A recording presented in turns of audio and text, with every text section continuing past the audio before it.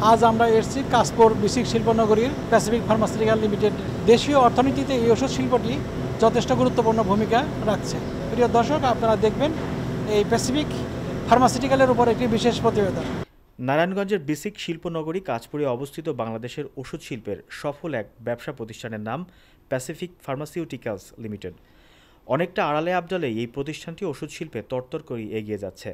বিভিন্ন ধরনের ভ্যাকসিন উৎপাদন, ওষুধের অভ্যন্তরীণ চাহিদা পূরণ, আন্তর্জাতিক মানসম্পন্ন ওষুধ উৎপাদন, উৎপাদিত বিভিন্ন ওষুধ আমেরিকা, ইউরোপের দেশগুলোতে বিক্রি হচ্ছে।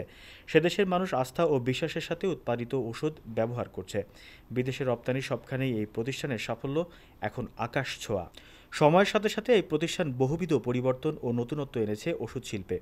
ওষুধ তৈরিতে ব্যবহার করা হচ্ছে আধুনিক সব যন্ত্রপাতি, সঠিক মান নিয়ন্ত্রণ পদ্ধতি ও ল্যাবে পরীক্ষা করে ছাড়া হচ্ছে বাজারে।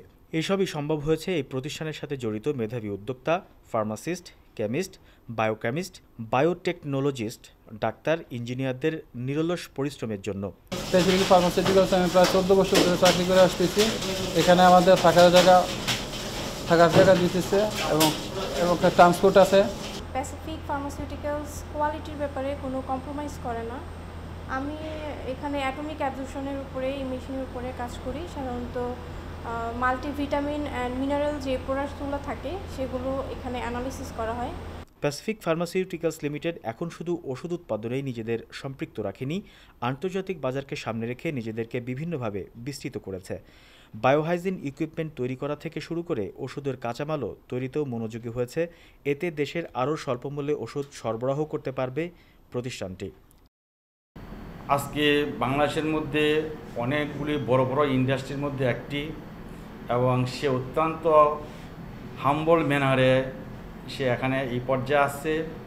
প্রথমে আমরা ছিলাম মুরগাপাড়া একটা রেন্টাইল হাউসে। তারপরে আস্তে আস্তে আমাদের প্রোডাকশনের ডিমান্ড বাড়তে থাকে।